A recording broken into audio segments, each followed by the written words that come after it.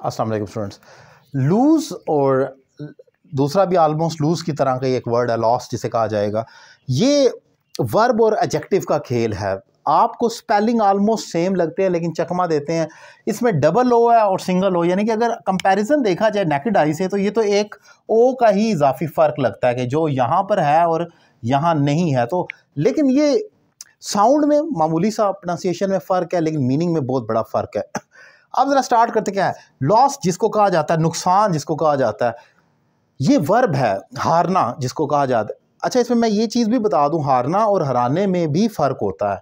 हारना वो होता है जो आप खुद हारते हैं तो उसको आप लूज़ कहते हैं। जैसे I have lost this match या पाकिस्तान हैज़ लॉस्ट तो कोई चीज़ जो हार जाते हैं। लेकिन अगर आप हरा देते हैं, अगर आपके पाकिस्तान ने हरा दिया है, फिर आप ये नहीं कहेंगे, पाकिस्तान इंडिया को हरा दिया, पाकिस्तान एज लॉस्ट इंडिया नहीं कहेंगे। आप कहेंगे, पाकिस्तान एज डिफीटेड इंडिया।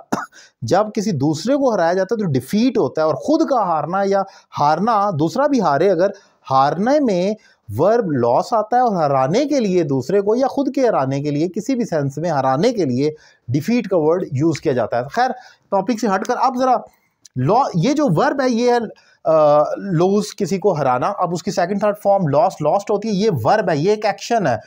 अब आई हैव लॉस्ट मैं मोबाइल सामने मैंने अपना मोबाइल कहीं गिरा दिया है घुमा दिया है। ये फ़िक्रा तो डिफरेंट है, हराने की सेंस में इस्तेमाल नहीं हो रहा, लेकिन मीनिंग इसका सेम ही है। या आपके कि I have lost my match today मैं आज अपना मैच हार गया हूँ तो हारने के लिए लूज़ की थर्ड फॉर्म लॉस्ट हो जाएगी।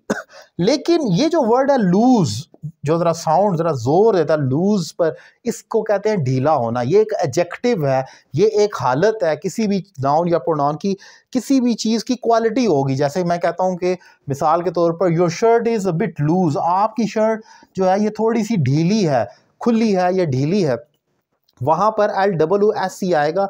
ये एक हालत को बयान करेगा अपने नाउन की, जो कि इसका नाउन ऑब्वियसली योर शर्ट है।